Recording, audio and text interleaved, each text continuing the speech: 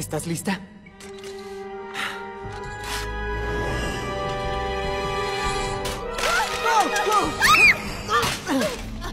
Oye, esas manos. No, yo me imaginaba esto más despacio.